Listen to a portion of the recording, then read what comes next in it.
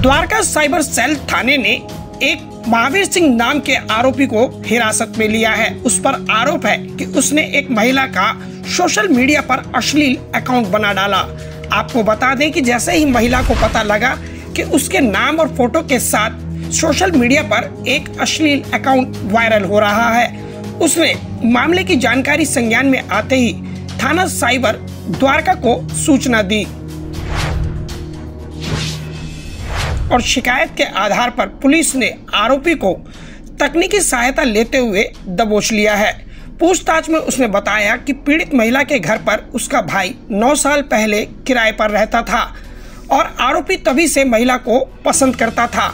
एक दिन उसने महिला को फेसबुक पर मैसेज किया, लेकिन रिप्लाई न आने पर वह गुस्सा हो गया और उसने महिला का सोशल अकाउंट बना डाला।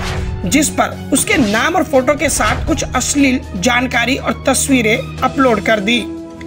लेकिन गनीमत है कि पुलिस ने समय रहते इस महावीर सिंह नाम के आरोपी को हिरासत में ले लिया है।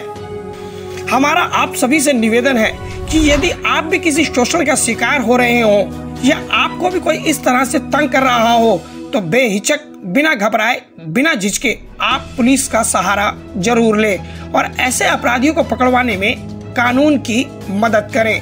नई दिल्ली से न्यूज़ फोल्डर के लिए गुलशन सैफी की रिपोर्ट।